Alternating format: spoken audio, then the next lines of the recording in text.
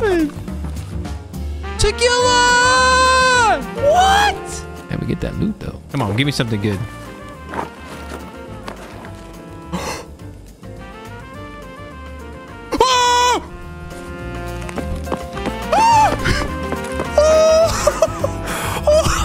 First time in 4,000 hours, boys.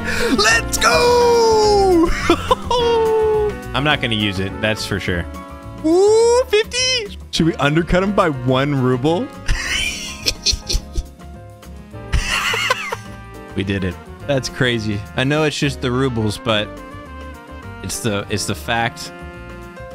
Oh! Oh, I just bought a four million dollar red card.